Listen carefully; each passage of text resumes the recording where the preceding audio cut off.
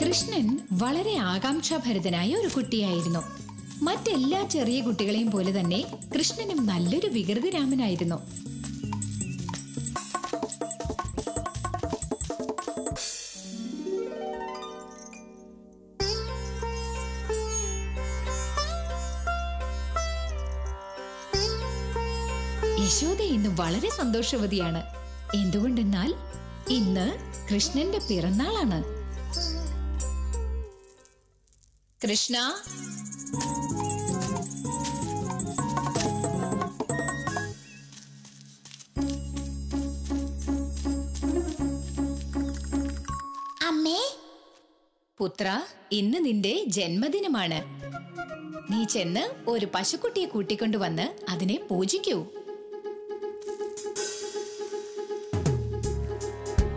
കൃഷ്ണന് വളരെ സന്തോഷം തോന്നി. അവൻ പതുക്കെ പുറത്തേക്ക് ചെന്ന് ഒരു പശുക്കുട്ടിയെ കണ്ടുപിടിച്ചു. അവളാകട്ടെ അരയന്നത്തെ പോലെ വെളുത്ത നിറമുള്ളവളും.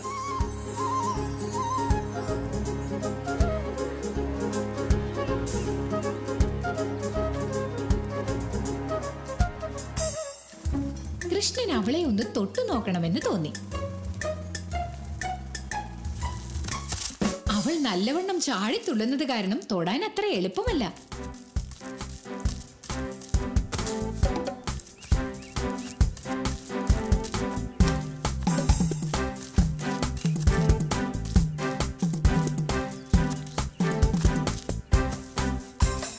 ഇങ്ങനെയൊക്കെയാണെങ്കിലും കൃഷ്ണൻ അവളെ പിടിച്ചു നിർത്തുക തന്നെ ചെയ്തു. ഇനി അവളെ മുറ്റത്തേക്ക് കൂട്ടിക്കൊണ്ടു ചെല്ലണം.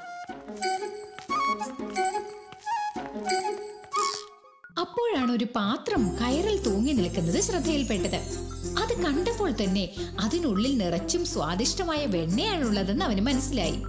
പക്ഷേ ഈ വെണ്ണ കയ്യെത്തി പിടിക്കുന്നത് എങ്ങനെ? അത് ഉത്തരത്തിൽ നല്ല ഉയരത്തിലാണുള്ളത്.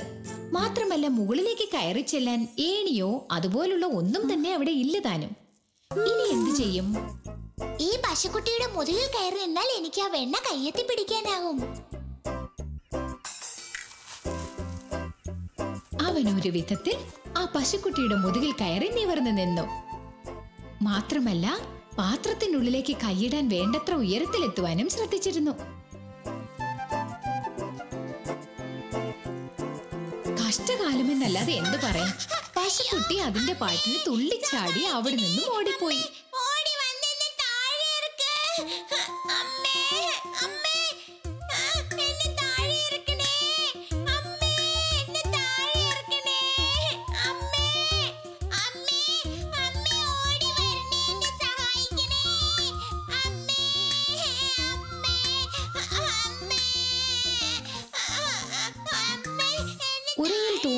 തൂങ്ങിക്കിടന്നാടുന്ന കൃഷ്ണനെ കണ്ടതും എന്താണ് സംഭവിച്ചതെന്ന് യശോദയ്ക്ക് മനസ്സിലായി.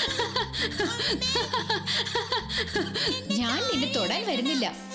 ചീത്ത കുട്ടിയായി കുസൃതികൾ കാണിക്കുന്നതിന് ഇത് തന്നെയാണ് നിനക്കുള്ള ശിക്ഷ. ഞാൻ വരില്ല. ഞാൻ നിന്നെ സഹായിക്കില്ല.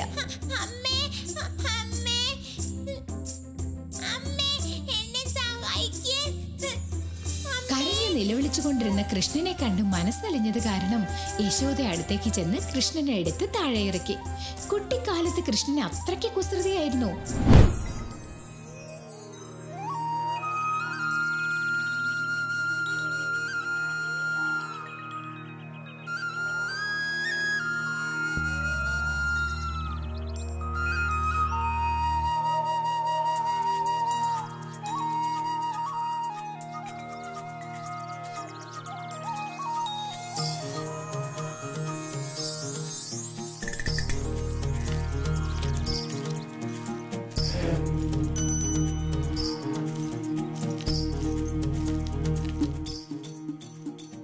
മറ്റെല്ലാ കൊച്ചുകുട്ടികളെയും പോലെ തന്നെ കൃഷ്ണന്റെ കയ്യിലും എല്ലാ വികൃതിത്തരങ്ങളും ഉണ്ടായിരുന്നു. കണ്ണന്റെ ഈ വികൃതികളെയെല്ലാം കണ്ടുപിടിച്ച് നോക്കി നടത്തുവാൻ യശോദ നന്നേ പാടുപെടുന്നുണ്ടായിരുന്നു.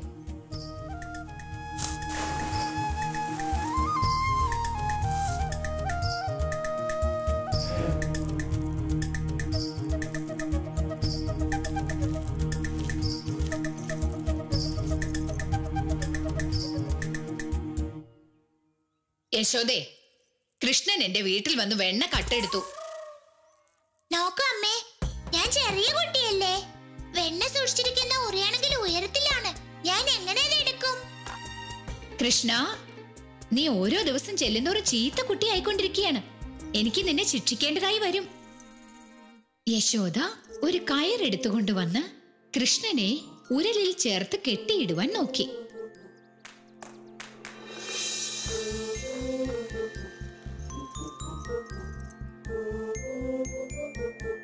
പക്ഷേ കയറിന്റെ നീളം മതിയാകുന്നില്ലെന്ന് കണ്ടപ്പോൾ വേറെ ഒരു കയറിന്റെ കഷ്ണവും കൂട്ടിച്ചേർത്ത് കെട്ടിയിടുവാൻ ശ്രമിച്ചു. എന്നിട്ടും കയറിന്റെ നീളം മതിയായില്ല. അതിന്റെ നീളം ഏകദേശം രണ്ടിഞ്ച് കുറവാണെന്ന് കണ്ടു. തന്റെ അമ്മ ക്ഷീണിച്ച് വിയർത്തൊലിച്ച് നിൽക്കുന്നത് കണ്ടപ്പോൾ കൃഷ്ണന് സഹതാപം തോന്നിയതിനാൽ തന്നെ കയറുകൊണ്ട് കെട്ടുവാൻ തരത്തിൽ കൃഷ്ണൻ സഹകരിച്ചു. കൃഷ്ണനെ കയറുകൊണ്ട് കെട്ടിയിട്ട ശേഷം അവർ വീണ്ടും തന്റെ വീട്ടുജോലികളിലേക്ക് മടങ്ങി.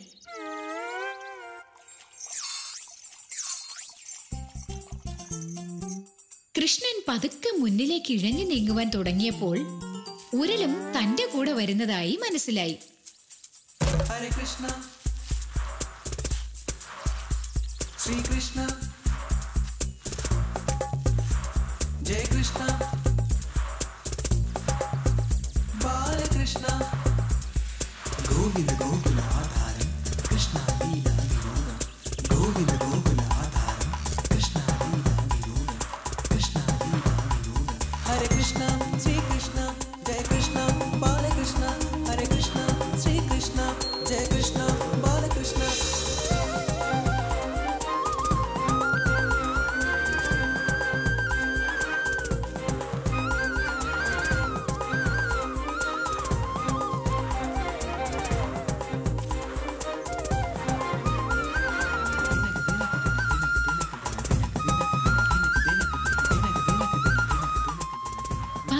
പതുക്കെ കൃഷ്ണൻ വീട്ടിനരികിൽ നിന്നും നടന്നു നീങ്ങി മരങ്ങൾക്കടുത്തെത്തി.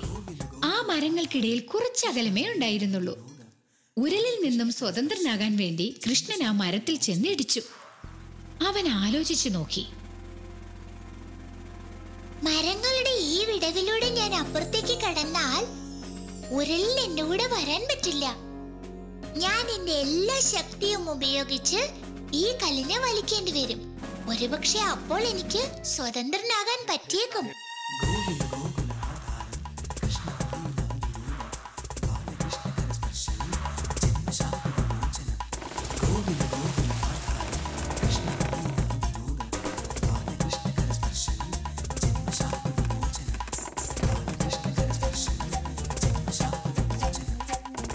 അവൻ ഉരൽ വലിച്ചുകൊണ്ടേയിരുന്നു.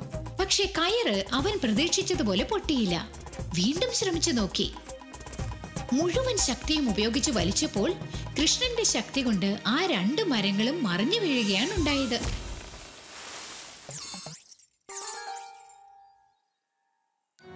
അപ്പോൾ ഒരത്ഭുതം സംഭവിച്ചു. രണ്ട് സ്വർഗീയ ദൂതന്മാർ അവിടെ പ്രത്യക്ഷപ്പെട്ടു. ഞങ്ങൾ കുബേരന്റെ പുത്രന്മാരാണ്. നാരദമുനി ഞങ്ങളെ മരമായി പോകട്ടെ എന്ന് ശപിച്ചിരുന്നു. ശ്രീകൃഷ്ണന്റെ സ്പർശനത്താൽ മാത്രമേ ഞങ്ങൾക്ക് മുക്തി ലഭിക്കൂ എന്നും അദ്ദേഹം പറഞ്ഞിരുന്നു. ഇത്രയും പറഞ്ഞുകൊണ്ട് ആ സ്വർഗദൂതന്മാർ കൃഷ്ണനെ വണങ്ങിയ ശേഷം അവിടെ നിന്നും പോയി.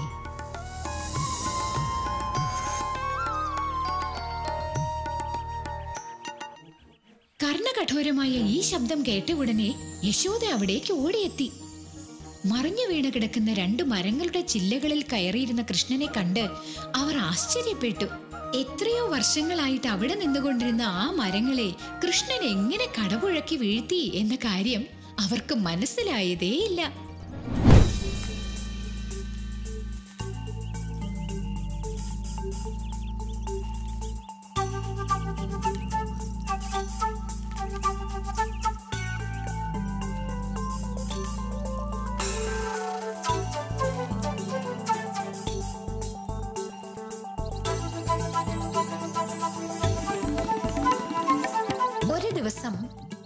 ബലരാമനോടും മറ്റു കൂട്ടുകാരോടും ഒത്ത് കളിച്ചുകൊണ്ടിരിക്കുന്ന സമയത്ത് തെരുവിൽ നിന്നും ഒരു സ്ത്രീ എന്തോ ഉറക്ക വിളിച്ചു പറയുന്ന ശബ്ദം കേട്ടു. പഴം വേണോ? പഴം. നേന്ത്രപ്പഴം ഓറഞ്ച് മുന്തിരി.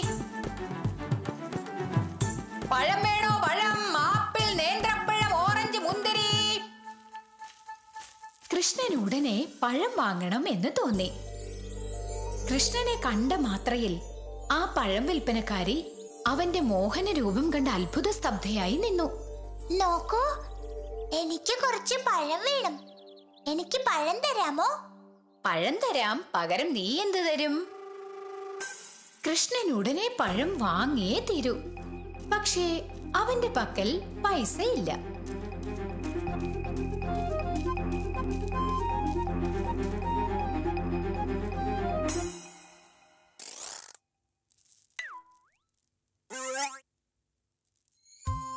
അടുത്തൊരു സ്ഥലത്ത് സൂക്ഷിച്ചു വെച്ചിരിക്കുന്ന ഭക്ഷ്യധാന്യങ്ങളുടെ കൂമ്പാരം അവന്റെ ആകാംക്ഷ നിറഞ്ഞ കണ്ണുകൾ കണ്ടുപിടിച്ചു. അവൻ അവന്റെ കൊച്ചു കൈകളാൽ ഒരു പിടി ധാന്യം കോരിയെടുത്തു എന്നിട്ട് പഴവിൽപ്പനക്കാരിയുടെ അടുത്തെത്തി.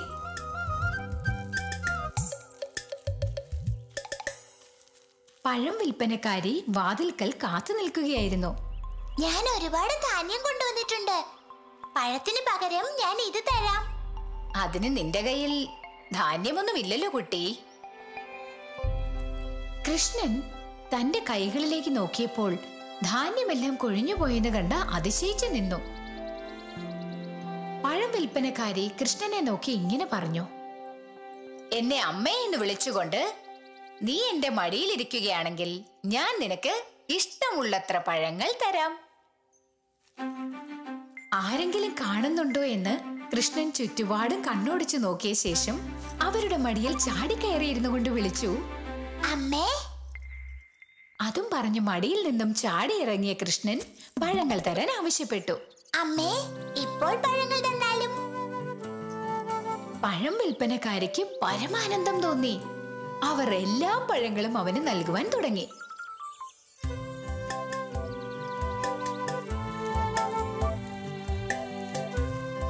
കൃഷ്ണൻ രണ്ട് കൈകളും കൊണ്ട് പഴങ്ങളെല്ലാം ശരീരത്തോട് ചേർത്ത് പിടിച്ച് കൊച്ചു കുട്ടികൾ ചെയ്യുന്നത് പോലെ ആടി ഉലഞ്ഞ് നടന്നകലാൻ തുടങ്ങി.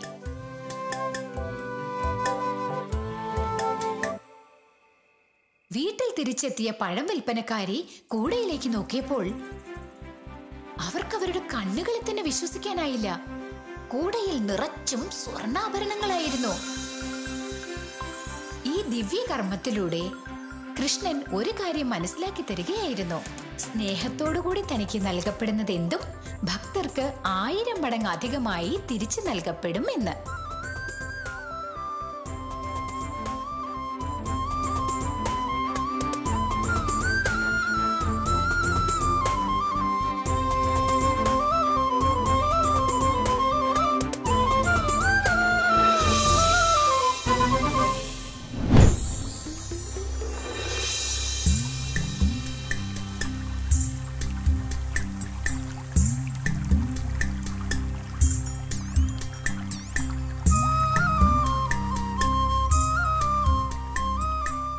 യമുന നദിക്കരയിലുള്ള ഒരു കൊച്ചു ഗ്രാമമാണ് ഗോകുലം. ഗോകുലത്തിലെ ജനങ്ങൾ മിക്കവരും പശുക്കളെ മേയ്ക്കുന്നവരായിരുന്നു. നന്ദഗോപാലൻ ഗ്രാമത്തലവനായിരുന്നു. യശോദയുടെയും നന്ദഗോപാലന്റെയും വീട്ടിൽ വളർന്നുകൊണ്ടിരുന്ന കൃഷ്ണൻ അവരുടെ എല്ലാ സ്വപ്നവുമായിരുന്ന കുട്ടിയായിരുന്നു.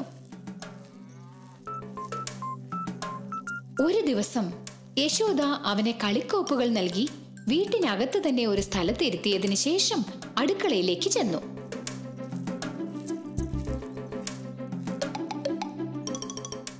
അവൻ നാലുപാടും തിരിഞ്ഞു നോക്കി.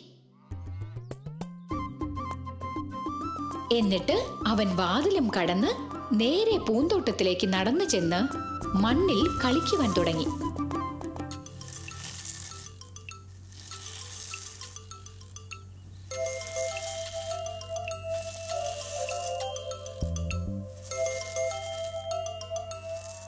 കുറച്ചു സമയം കഴിഞ്ഞ് യശോദ അടുക്കളയിൽ നിന്നും വന്ന് നോക്കിയപ്പോൾ കൃഷ്ണൻ വീട്ടിൽ എവിടെയും ഇല്ല എന്ന് മനസ്സിലായി.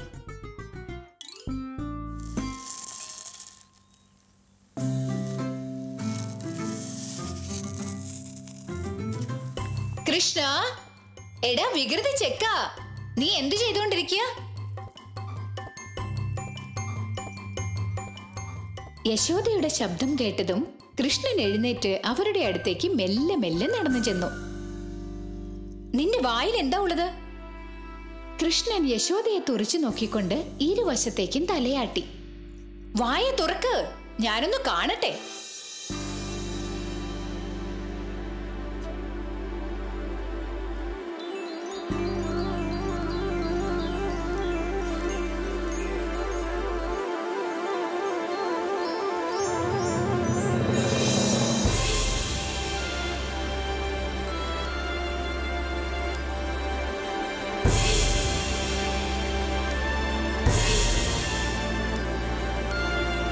യശോദ കണ്ടത് ഭൂമിയും ഏഴ് കടലുകളും എല്ലാ മലകളും മരുഭൂമികളുമായിരുന്നു.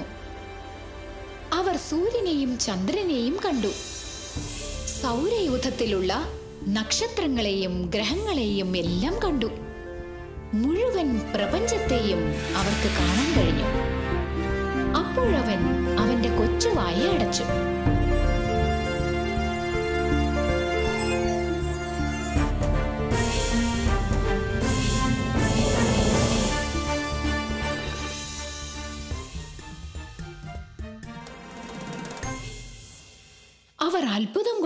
തരിച്ചു നിന്നുപോയി ഞാൻ സ്വപ്നം കാണുകയായിരുന്നില്ല.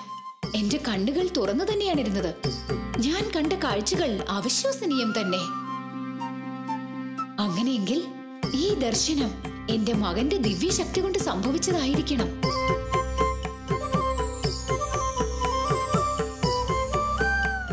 അമ്മ യശോദ ഈ കാര്യങ്ങളെല്ലാം മറന്നു കളഞ്ഞു അവർ കുട്ടിയെ വീട്ടിലേക്ക് കൂട്ടിക്കൊണ്ടുവന്നു. ഇനിയും കുറെ കഥകൾ കാണാൻ നിങ്ങൾക്ക് ആഗ്രഹമുണ്ടോ? എങ്കിൽ ഈ ചാനൽ സബ്സ്ക്രൈബ് ചെയ്യൂ. വീട്ടുകാരോടും കൂട്ടുകാരോടും കൂടി മാജിക് ബോക്സിന്റെ ചാനൽ കണ്ട് ആസ്വദിക്കൂ. Magic box Malayalam. സന്തോഷത്തോടെ പല കാര്യങ്ങളും പഠിക്കാനുള്ള ഇടമാണിത്. സബ്സ്ക്രൈബ് ചെയ്യാൻ മറക്കല്ലേ?